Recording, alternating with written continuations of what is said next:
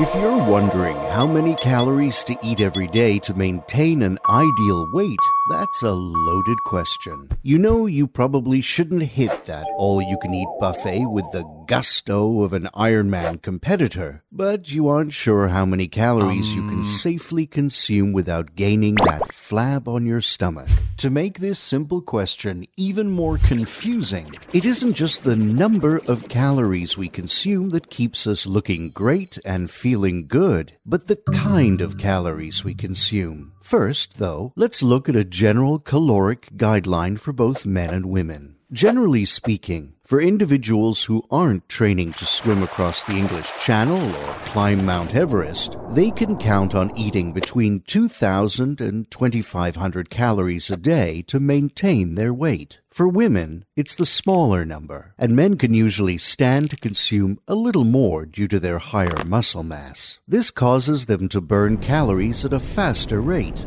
Anyone who increases their muscle mass, however, will burn calories faster. But there are other factors in the equation, such as your natural metabolic rate, the millions of chemical interactions in your body that determine how fast your heart beats. You breathe, you burn fat, etc. Most of your calories are burned every day when you are at rest. This is called your basal metabolic rate, BMR. Your age. As we get older, we burn calories more slowly hormonal factors. Conditions like hyperthyroidism or hypothyroidism can cause you to burn calories too fast or too slow.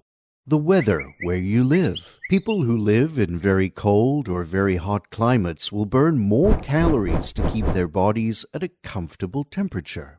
Drugs you take. Many drugs can interact with the body's metabolism, causing it to slow down or speed up. Your level of physical activity. Though most of our calories are burned when we do nothing, regular exercise tends to increase our BMR.